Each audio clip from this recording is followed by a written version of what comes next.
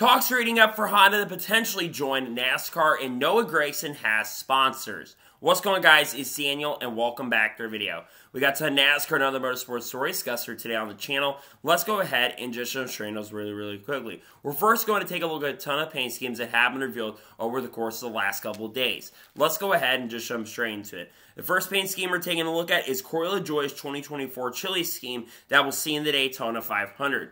I like the scheme quite a bit, but I'm not a big fan of the QR codes. I have never really been a big fan of QR codes on these cars. They need to be removed. Other than that, I think it is a solid paint scheme.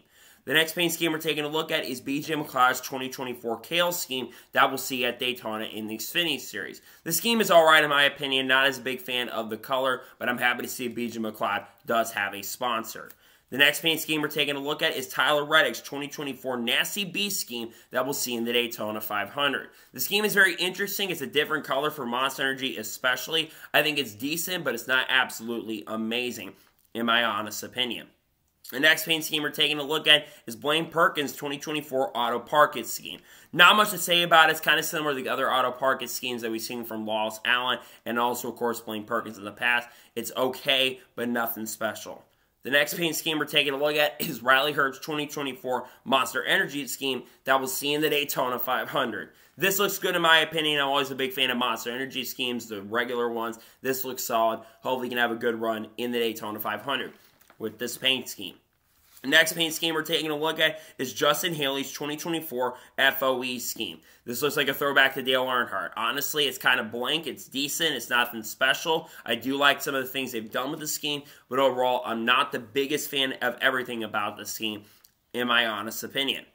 And the final paint scheme we're taking a look at is Ben Rhodes' 2024 Ranch Fuel scheme that we'll see at Daytona this weekend, tomorrow night, as a matter of fact. This is okay in my opinion. It's pretty good at, in some areas. It's not amazing. ThorSport doesn't always do the greatest job with their design and paint schemes, but overall it's decent. Hopefully Ben Rhodes can have a good run with this scheme at Daytona. And now we're going ahead jump on to the next story of today's episode as we're talking about Creed. As it was announced yesterday that Creed, or Tuesday or Wednesday, that Creed will sponsor Legacy Motor Club in the Daytona 500. Of course, will sponsor Jimmie Johnson. Now, Jimmie Johnson does tomorrow tonight have to qualify his way into the Daytona 500, but Creed has been very popular. Meme as of recently, one of the more popular bands in the 90s. It's really cool to see them getting the chance and opportunity to work with Legacy Motor Club this year. I would imagine if they don't make the 500, they might transition over maybe Erik Jones or John Hunter Nemechek, considering both those drivers are in fact locked into the Daytona 500. It's good to see though that a company like that is working, or team and a band is working with that organization this season. And now we're going ahead on to the next story of today's episode as we're talking about Menards. As it was announced yesterday that Menards will be returning to ThorSport in 2024, continuing the longest relationship for sponsor to driver in history, as Menards has been sponsoring Matt Crafton for about two, a little over two decades. This is really great to see. Menards has had a big partnership with ThorSport Racing for a very, very long time, and they've been sponsoring 88 cars since about 2005 or 2006. And it's good to see that Menards will continue that partnership with Matt Crafton in 2024.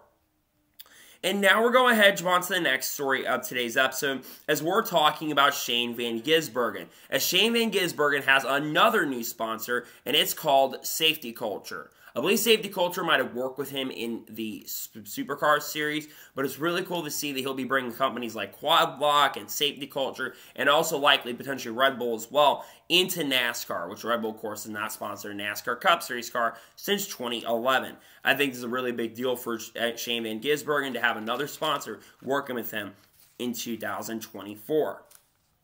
And now we're going ahead on to the next story of today's episode as we're talking about Boot Barn. As it was announced yesterday that Boot Barn has officially signed with Richard Childress Racing. They'll be an associate sponsor all year for Austin Dillon in 2024. The last couple years, Boot Barn have been associated with Farmer Motorsports, so it's unclear if they're going to be staying with Farmer Motorsports in 2024. But Boot Barn, pretty cool to see him get a chance and opportunity to once again work with RCR in 2024. A great team to work with. I've been always a big fan of them. Hopefully, we'll see him have a really good run, and we'll see if with the sponsorship, maybe Dillon can get some luck and some good charm and can run really, really well with that sponsorship and funding in 2024. And now we're going to hedge on to the next story of today's episode as we're talking about Nick Leitz. As it was announced yesterday Nick Leitz will drive the 92 for DGM Racing at Atlanta Motor Speedway next week. Nick Leitz has made, select starts in the Truck Series with Reaume Brothers and other organizations in the Xfinity Series as well. Is probably getting the best opportunity he's had in his NASCAR career up to this point. I don't expect Nick Leitz to set the world on fire with DGM Racing in 2024, but I think that it's a good opportunity for him. I think he's going to make the most of it. I'm excited to see what he can do. And hopefully can may end up making the show because I think the 92 car is going to need to make it on owner's points this year. They don't have a ton of owner's points for the 92 car currently at the moment.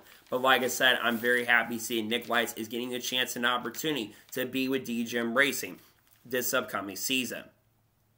And now we're going ahead jump on to the next story of today's episode as we're talking about Ryan Huff As it was announced yesterday that Ryan Huff will drive the 36 for Huff Motorsports in the Truck Series race tomorrow night at Daytona International Speedway. Ryan Huff, I think, has made a couple select Truck Series starts in the past and has been in ARCA for a very, very long time, running his own equipment. I do believe that Ryan Huff has a old KBM Toyota from back, I think, in 2021 or 22 that he's working with in this event. Now, Ryan Huff does have to qualify in on time on owner's points, but I think he's got a really good chance and opportunity to do that this season. He is a good enough talent. He can do pretty good, and we'll see if Ryan Huff can end up making the show. Again, great opportunity. Hopefully, does good enough and ends up making the show this year and gets into the Daytona Truck Series race because it'd be the best opportunity he's had in a very long time. And now we're going to hedge on to the next story of today's episode as we're talking about Clutch Vodka. As it was announced on Wednesday that Clutch Vodka will sponsor Hailie Deegan for five races in 2024, including in the opening race at Daytona. This is going to be the next new sponsor that Hailie Deegan has had. She's already been announced that Viva Airbox is going to be working with her, and a couple other companies, including potentially even Monster Energy, are going to sponsor her throughout the year. This is a big year for Hailie Deegan because there's a lot of hype around her. Well, still some hype to this day. But also, she's kind of underwhelmed in the Craftsman Truck Series over the course of the last couple years. Well, one thing about Hailie Deegan is she does have a lot of fans that do support her, and also she's pretty easy to pick up sponsorship and funding. So it's pretty awesome to see the Clutch Vodka is coming in and working with Hailie Deegan in 2024. The other four races have not been announced at this point, to my understanding, but I'm glad to see that a company like Clutch Vodka will be working with Hailie Deegan in the 2024 NASCAR season in the Xfinity Series with AM Racing.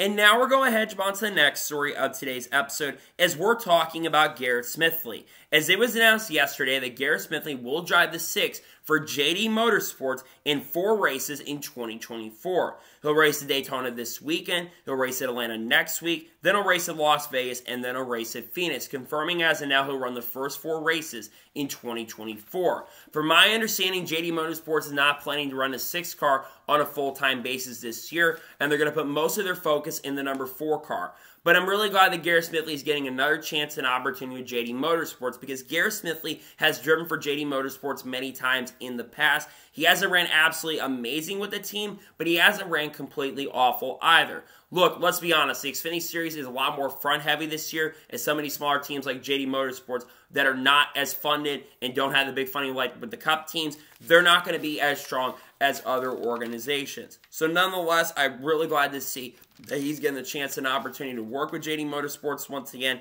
and I really hope he can make the best of it because it is a very good and solid opportunity for him going into this year. Glad to see him getting an opportunity chance to work with JD Motorsports again in 2024. And now we're going ahead jump on to the next story of today's episode as we're talking about Jimmie Johnson. Now, Jimmie Johnson was being interviewed by Media Days yesterday, and he says he is not expected to run any more Cup Series races in 2024 than the races he currently plans. Jimmie Johnson is going to run nine NASCAR Cup Series races with his own organization, Legacy Motor Club, in 2024, including in the Daytona 500, which, of course, like I've already mentioned, he has to qualify for this year's Daytona 500 and on time and speed. I expect that Jimmie Johnson will have a very solid chance and opportunity to do this and make it into tonight. I think he's going to be as big as competition as JJ Yeley, who we'll talk about a little bit later in this episode. Obviously, Toyota struggled in qualifying for the Daytona 500, which hurt Jimmie Johnson's chances. But again, we know Jimmie's going to be running both, I think, both Phoenix races maybe, or he's going to run Vegas. I think he's going to run Phoenix at the end of the year. He's going to run, I think, a couple other races too, not the Chicago Street Course, unfortunately. But he's running some big races like Dover. We know how strong Jimmie Johnson has been at Dover historically. I expect Jimmie Johnson to have a very good chance and opportunity here to be very, very competitive in some of these races. Again, he has to make it in later tonight, but I think he does have a very solid and a great opportunity and a great chance to make it into this year's Daytona 500 and make it into all the other races throughout the 2024 season. I'm glad to see him get the chance here, and we'll see if Jimmie Johnson can make it into the race this year. If not, he's going to have eight other tries, and more than likely he won't fail any of those races, considering I don't expect any more than 40 entries to show up in every race except in the Daytona 500.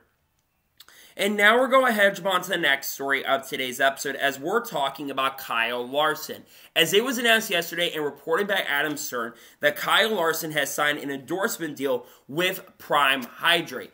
He is the first driver or race car driver, I believe, in the world that has now signed with Prime. For those who don't know what Prime is, Prime is one of the biggest hydration energy drink companies in the world currently at the moment. It is owned by KSI, who's one of the biggest YouTubers, and Logan Paul, part of the WWE, and also another big YouTuber as well, and runs the Impulsive podcast. This is not the first time that Prime has been involved in NASCAR. Back in 2022, I believe, I think Prime sponsored Timmy Hill in the number 13 car for MBM Motorsports at Charlotte Motor Speedway.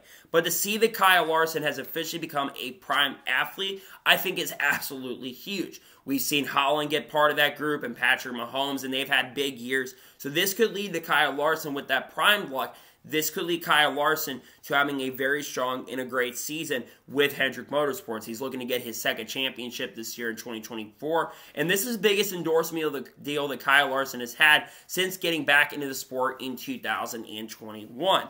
I'm very excited about this. I'm really glad to see that Kyle Larson will be working with Prime this year. I know there's been some controversy around KSI as of late, but still, I think it's really huge to see that Kyle Larson is working with a big company like Prime, which, of course, is one of the biggest hydration companies out there currently at the moment.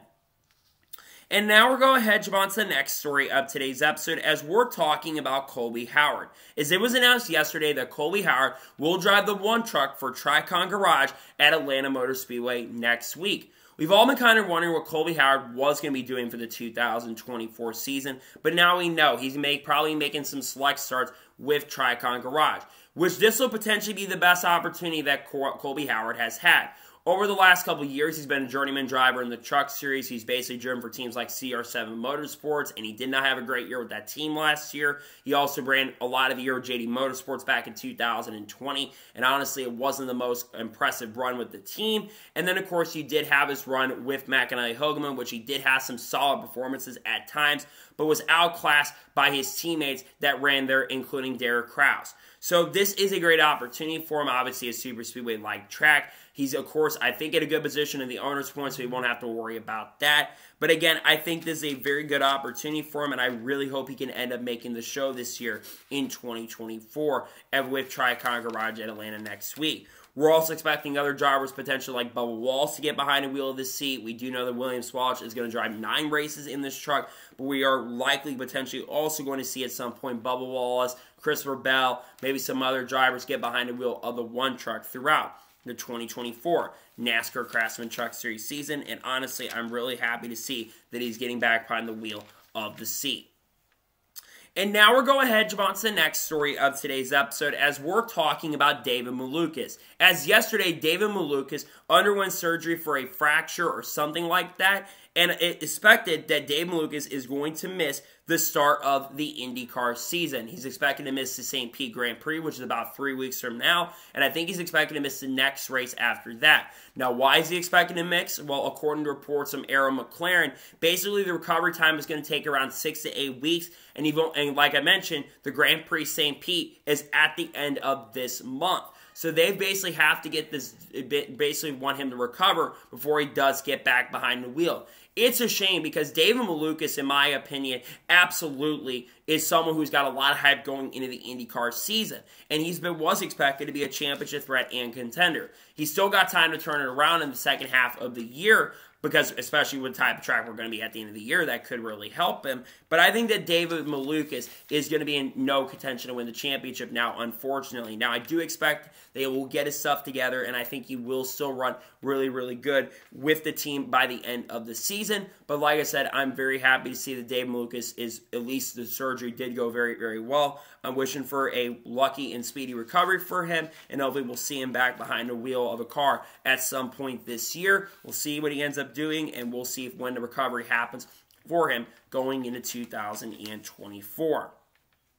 And now we're going ahead jump on to the next story of today's episode as we're talking about the Rookie of the Year battle for 2024. As the people that will be competing for the Rookie of the Year battle in 2024 have been officially announced. Let's go step by step. First, with the Cup Series, there's four drivers who will be part of the Rookie of the Year battle. There'll be Josh Berry, who'll be driving a four car for Stewart-Haas Racing. Kaz Grala will be driving a 15 for Rick Ware Racing. Zane Smith will be driving a 71 for Spire with assistance from Trackhouse Racing. And Carson Hocevar driving a 77 car for Spire Motorsports.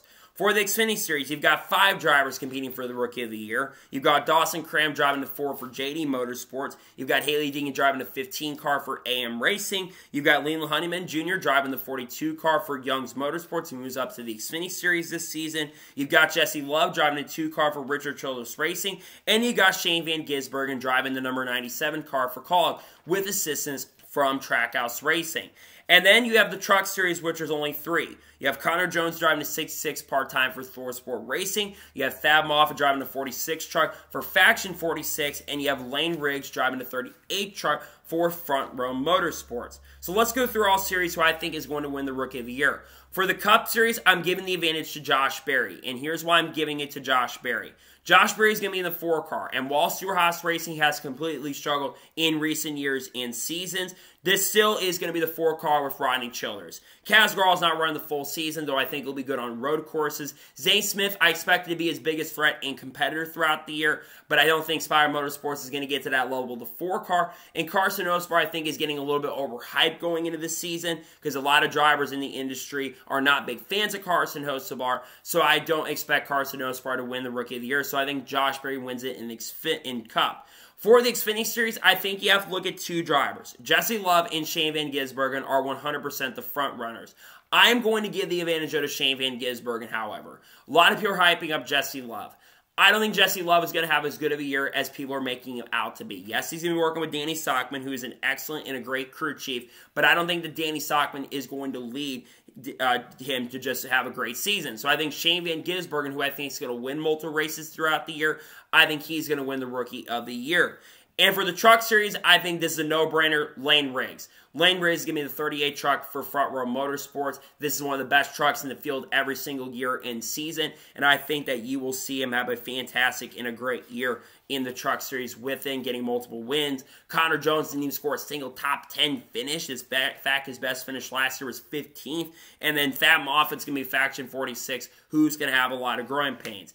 Again, for Xfinity, also Hailie Deegan. I don't expect her to really do much this year in contention to that. So I think, again, Cup, Josh Berry. Xfinity's going to be Shane Van Gisbergen. And the Truck Series, I think, is going to be Lane Riggs. I think it's pretty easy going to be them for 2024. I might end up being wrong, and combo if you think I'm wrong on that, but I do believe that is going to be who ends up winning the Rookie of the Year battle in 2024.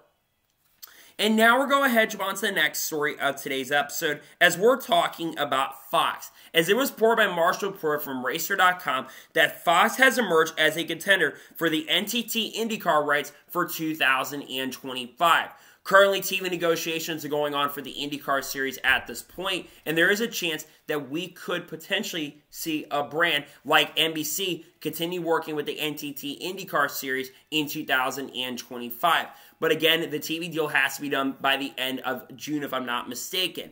Now, hearing that Fox might be in the running to pick up the rights for the IndyCar deal going into the future is a little bit disappointing, and here's why.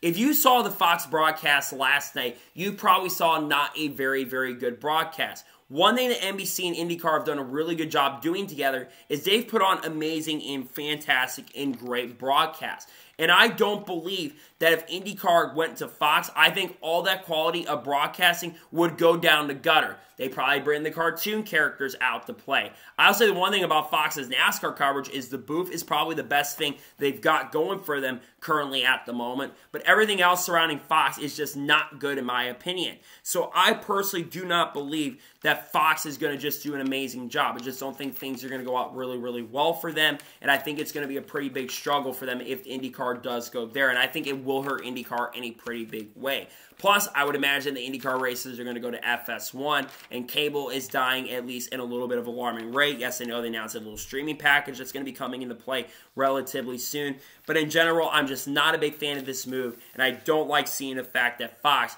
could end up picking the right up the rights for the IndyCar deal going into the not so distant future. And now we're going ahead jump on to the next story of today's episode as we're talking about the Music City Grand Prix.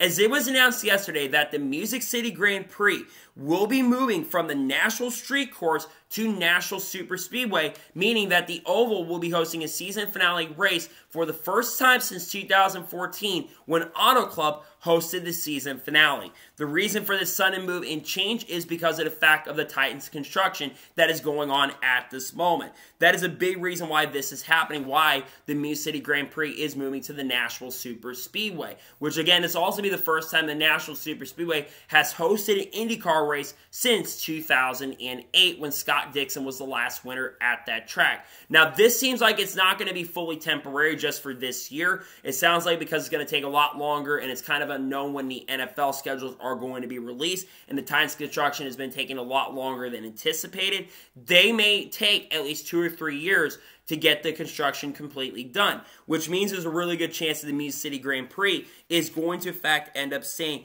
in the national area in the Nashville Super Speedway. It's bad for branding and, and, basically sponsorship and some things, but it's good for the racing fan because this means that I think six of the last seven or eight IndyCar races are going to be on ovals. And I believe it's going to be the most ovals on the IndyCar schedule since I think 2011 or 2012, which is absolutely huge for IndyCar. You want a balance of races, and I think having a ton of ovals on the schedule does not hurt the IndyCar series. So I think this is a great move as much as it does suck to see the circumstances of how it ended up happening. I think it's a very good and great move for the series overall to have the Music City Grand Prix at the Nashville Super Speedway because personally I think it's going to be a better move for IndyCar and I think we'll see some pretty solid and good racing, especially in Nashville, which I think they'll do a good enough job to try to get both groups working for this event. And now we're going to hedge on to the next story of today's episode as we're talking about JJ Yeley. As it was officially confirmed yesterday that JJ Yeley will drive the 44 car for NY Racing in the Daytona 500.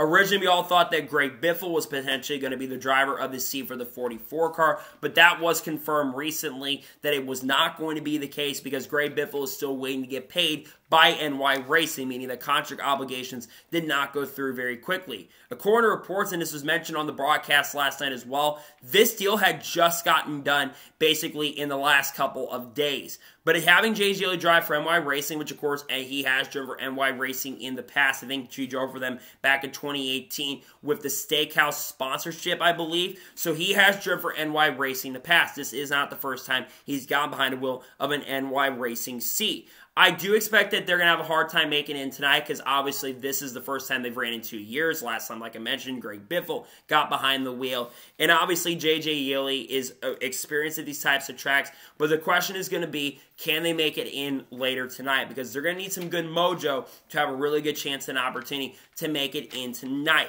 We've seen some crazier things happen. Remember, the money team was able to make it in last year over like Chandler Smith and Kaulig Racing. So maybe they'll get very, very lucky and they'll get into the show. But honestly, if you want my early expectations, I don't really know if they're going to make it in. We'll have to wait and see what happens in regards to that and see if they do, in fact, end up making it into the show. But right now, I'm not exactly expecting them to make it into the main event. But I am very happy to see that they'll be working and getting back behind the wheel. Hopefully, JJ Yeley can have a really solid and strong year this year, depending on how many races they run, because the number of races they're planning to run this year is not clear at this current moment. And now we're going ahead jump on to the next story of today's episode as we're talking about 3Chi. As it was officially confirmed on Wednesday morning that 3Chi will be back at Richard Childress Racing this year in 2024, and they will continue their sponsorship with Kyle Busch in the 2024 season.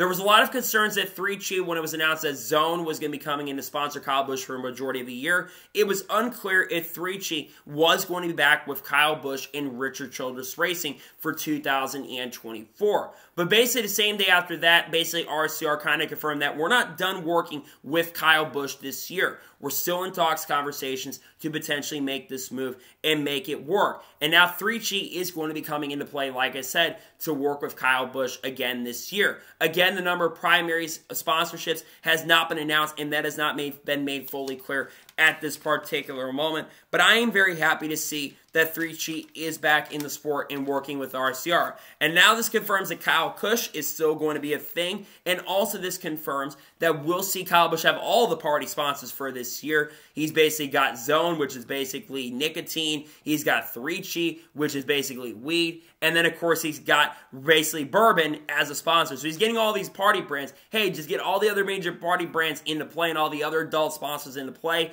And I think we'll be in very solid and really, really good shape. Again, though, it's awesome to see that 3Chi is once again working with Kyle Busch for the 2024 season. And I will see how many races they do officially sponsor this upcoming season. But like I said, I'm again, I'm just very happy to see that 3Chi is back at Richard Childress Racing for the 2024 calendar year. And I'm looking forward to see them working with Kyle Busch once again in the 2024 NASCAR Cup Series season. I can't wait for the sponsorship and basically the reveal of the paint scheme going forward. But again, like I said, I'm very happy to see the three sheet is once again working with Kyle Busch in the 2024 NASCAR Cup Series season. And now we're going to hedge on to the next story of today's episode as we're talking about NASCAR Full Speed. Now, during Daytona 500 Media Days yesterday, Steve Phelps went on and spoke about the potential of NASCAR Full Speed having a second season. And according to Steve Phelps, it sounds like they're getting very, very close to having a season two. And it sounds like the green light might be given in the not so distant future for season two of NASCAR Full Speed. This is absolutely huge. If you watch the first season of NASCAR Full Speed, which focused on around six or seven or nine drivers in the field, drivers like Bubba Wallace, Christopher Bell, Kyle Larson, William Byron, and Ryan Blaney were some of the main focus, and even Denny Hamlin, who was the star of this show. This show in season one was a five episode series that was extremely popular with the fans. And I've noticed that there have been a lot of new fans coming in because of NASCAR Full Speed who even want to understand and learn about the sport in a lot bigger way. And I think having a second season would absolutely be huge for NASCAR itself. Because, like I've already kind of talked about this and said, you got to have something there to basically keep going.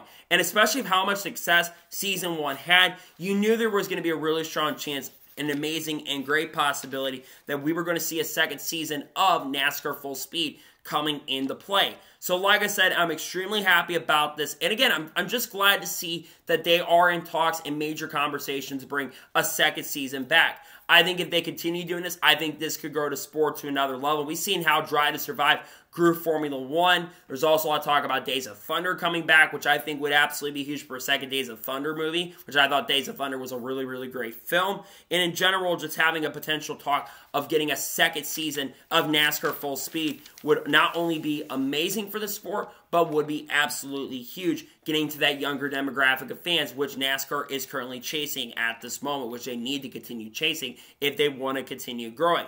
So, nonetheless, I'm really excited about this. And again, I think it's just so phenomenal and incredible to see that season two of NASCAR Full Speed, it might be on the way in the not so distant future. And I really hope it does come out because I do believe that NASCAR Full Speed, the second season of that, would be very successful and great for the sport. So I'm happy about this. And like I said, glad to see that there is a second season of NASCAR Full Speed currently on the way. I really hope it does, in fact, end up being successful when it does officially come out.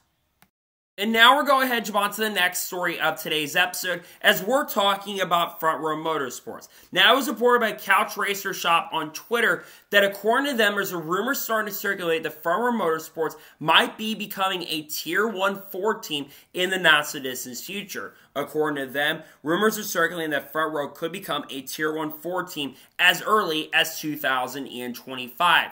Obviously, last night was a huge night for Row Motorsports. They were able to start on the front row for the Daytona 500 with Michael McDowell, and we've been seeing the rise of Row Motorsports over the course of the last decade or last 10 to 15 years. I remember all the way back in 2013 when they were kind of a mid-pack team, and they basically passed Carl Edwards at the end of that event at Talladega and were able to win. And they've been getting faster, faster on a year-by-year basis. They've making a lot of investments. They brought a lot of older people from Joe Gibbs Racing into their group and investment, and and now you have them potentially jumping up into the key teams going into 2025. It also helps with the fact that they have an alliance with Team Penske going into this year, which I think is really going to help them in a big way because it also means there might be an organization we'll talk about in a little bit that might be getting out of Ford by the end of this year. I think you all kind of can get an idea of what that team could end up being. But having potentially Row Motorsports jump from a team that a few years ago or even 10 years ago was down in like tier number two and tier number three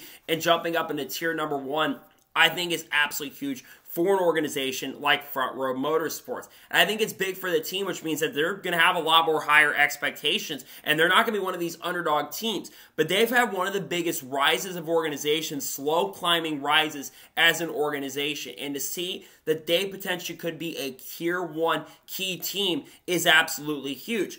What if they got someone to be into that organization like a Carl Edwards, perhaps, or someone to bring in that could definitely help with the team? If maybe they got like a Matt DiBenedetto, can you help work their program? That'd be pretty cool too. But like I've mentioned already said, a tier one program like Front Row and seeing them potentially be a top team in the not so distant future, I think would not only be really huge for an organization like Front Row, but I think in general, it would be really, really huge for the sport to have another organization being competitive. And it just shows that this next gen car is helping organizations like Front Row get faster and faster. Last year, statistically, Front Row Motorsports had their best year as an organization, and they are just continuing to climb that ladder on a year by year basis. Remember, a few years ago, I wouldn't even rank them as a top 10 team. They're going into this year as one of the lower top 10 teams. Maybe by the end of this year, especially how they've started by getting on the front row for the Daytona 500 with Joey Logano and Michael McDowell, of course.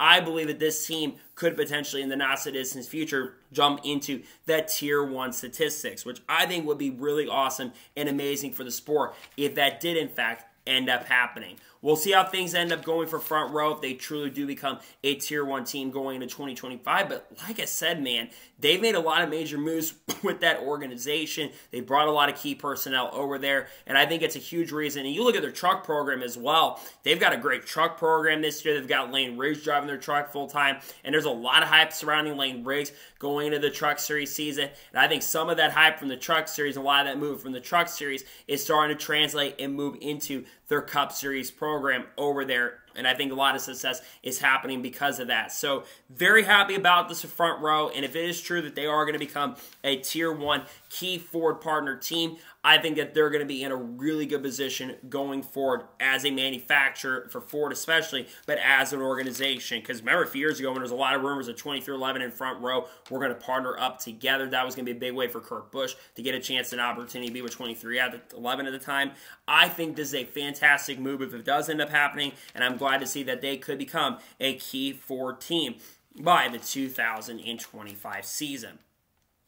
And now we're going ahead jump on to the first of two major stories in today's episode as we're talking about Noah Gragson. Now, yesterday, or a couple days ago, I talked about the fact that Noah Gragson may, in fact, officially have some new sponsors or old sponsors working with him in 2024. And we officially got confirmation on Wednesday morning, right after the video I did on it went live, that Noah Gragson, in fact, does have sponsorship for 2024. Ranger Boats, Black Rifle Coffee, True Timber, and Winchester have joined to sponsor Noah Gragson for the 2024 season. When we take a look at the paint scheme, this looks very similar to his Black Rifle Coffee car and Bass Pro Shops car that he had in the Xfinity Series in 2022 and also, I believe, in 2021 and also in 2020. So it's really good to see that Noah Gragson is bringing some sponsors back for the 2024 calendar season.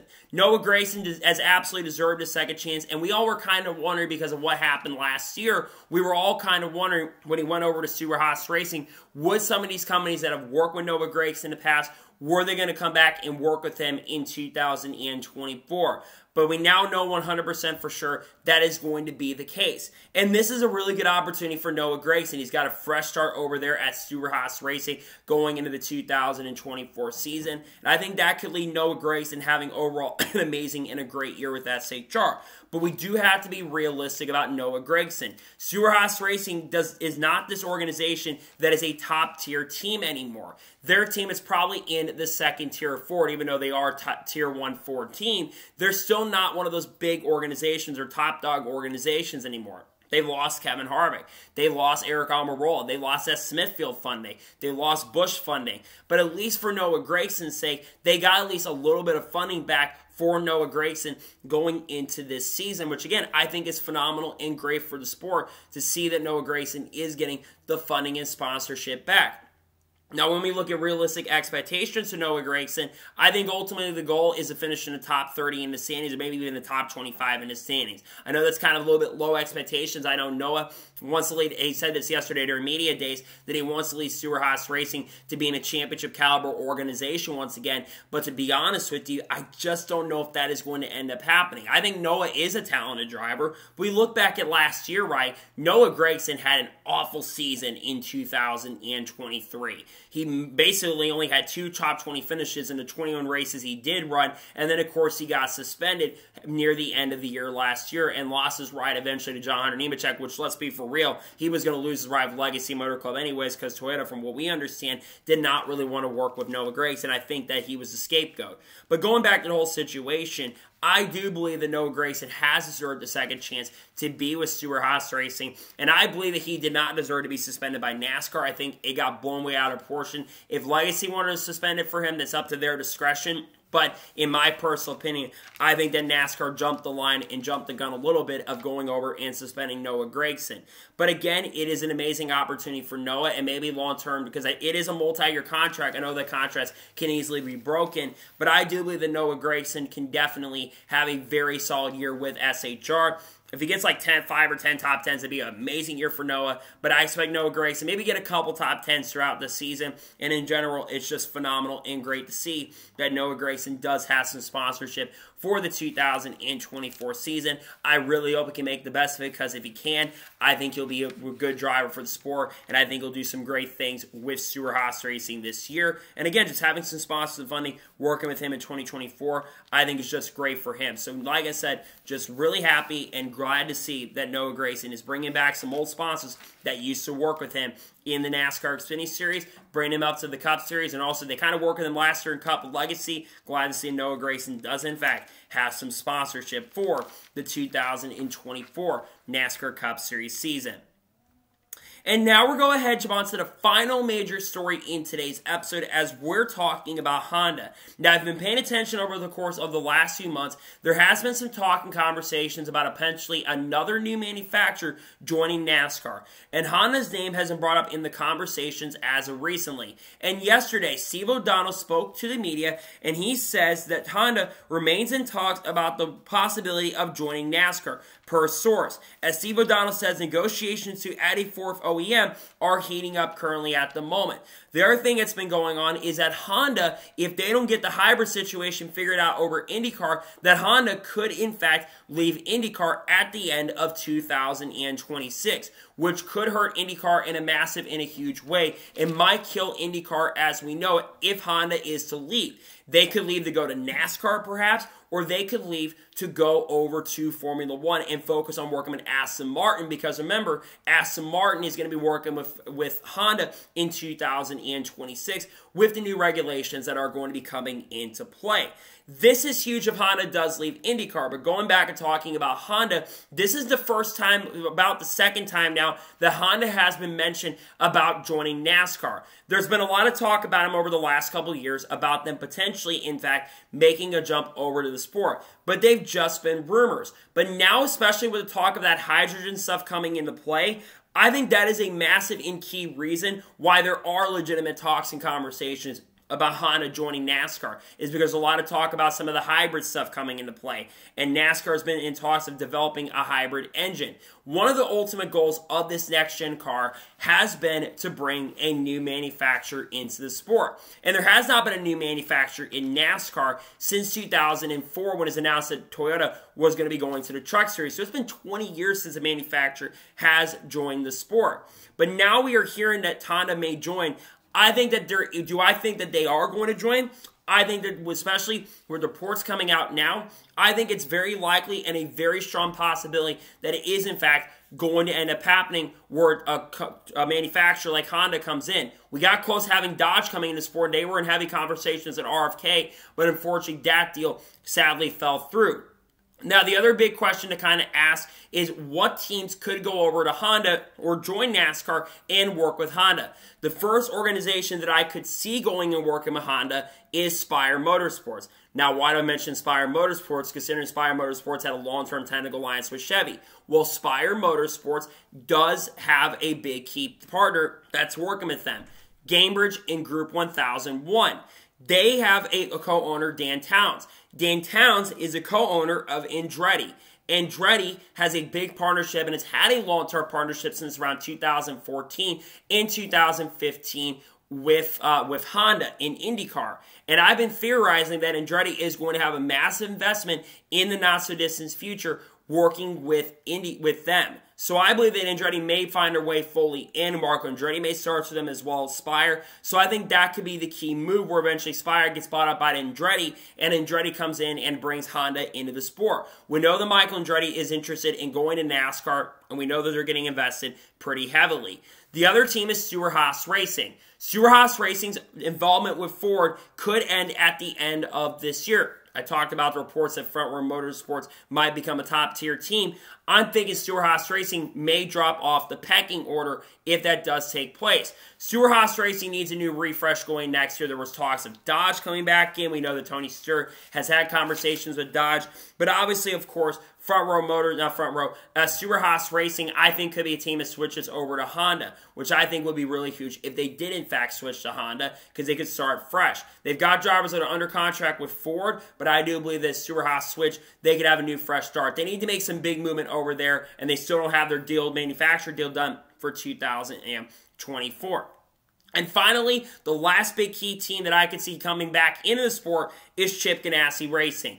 Chip Ganassi last year around April had kind of suggested to Dale Jr. that he is not out of the question of coming back to the sport. Chip Ganassi Racing has not been involved in NASCAR since the 2021 season when they sold their charters off to Trackhouse Racing and Justin Marks, who of course had driven for Chip Ganassi in the NASCAR Xfinity Series back in 2018 and 2016. Of course, won a race for them in 2016. So he sold off his charters to Justin Marks and basically sold off his cup operation. So I believe Chip Ganassi if they Honda does come in because he's had a long term commitment with Honda for the last six or seven years in IndyCar. I do believe, and also does have a commitment with Cadillac, of course. But I think that Chip Ganassi could be the other key team that makes the jump in. I really hope Honda comes into the sport because one, if there's a new manufacturer that comes in, that is one of the big number one successes of the next gen car. Because like I've already mentioned, one of the big key things that will be huge success for the next gen car is if a new manufacturer does 1000% in fact does make a jump in. I really hope it does end up happening, of course, if we do see a manufacturer branding like Honda make the jump into the sport. Because, like I said, if they do in fact come into NASCAR, I think it will be absolutely huge and massive growth for the sport in a massive and huge way. So we'll see how things go through and how the negotiations go through. But it sounds like Honda comes in. You look at some of the organizations too, like Chip Ganassi, they get someone like a Matt Benedetto or Brett Moffitt perhaps to work with them. So we'll see how things go through. But it sounds like Honda has had some talks, conversations about joining NASCAR. So, that is going for today's NASCAR news and motorsports news video. I want to thank you guys for watching. Please subscribe to the channel, notifications on, so if I win a video, does go live on my channel. Follow me on Twitter, Facebook, and Instagram, and support on Patreon as well. Let's go below that and comment your thoughts below on today's episode. What are your thoughts about Honda potentially coming to NASCAR? Let me your thoughts in the comments below. And what are your thoughts about some of the organizations like Front Row potentially becoming a Tier 1 team and other news we talk about today? Let me your thoughts in the comments below. Later tonight on the channel, we'll have reviews of the Duel races. Tomorrow, there'll be another NASCAR news video discussing news over the course of the last couple days. Then on Saturday, and of course, Truck Series race review tomorrow. Then Saturday, we'll have the Xfinity Series race review if the weather holds up. And then Sunday, we'll have the NASCAR Cup Series race review for the Daytona 500 if the weather holds up. Got a lot of great content still dropping on the channel that I cannot wait for you guys to check out. So anyways, like I said, I want to thank you guys for watching today's episode, and I'll see you guys next time for more great, awesome NASCAR content and other motorsports content on the channel like this. Take care, everybody.